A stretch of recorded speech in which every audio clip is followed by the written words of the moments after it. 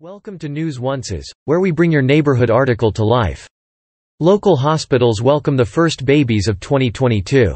Charlotte, Atrium Health Carolinas Medical Center delivered the first baby of 2022 across the Atrium Health System, at 1.51 a.m. on January 1 at Atrium Health Cabarrus. Baby boy Greyson Lee Evans was born to Kyle and Christina Evans weighing 7 pounds and measuring 21.26 inches. Novant Health also welcomed several New Year's Day bundles of joy on Saturday.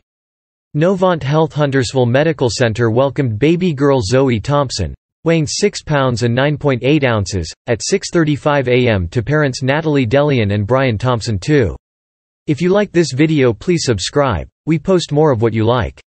Novant Health Presbyterian Medical Center welcomed baby boy James Yearwood, weighing 8 pounds and 12 ounces, at 12.12 a.m. to parents Aaron and Carly Yearwood.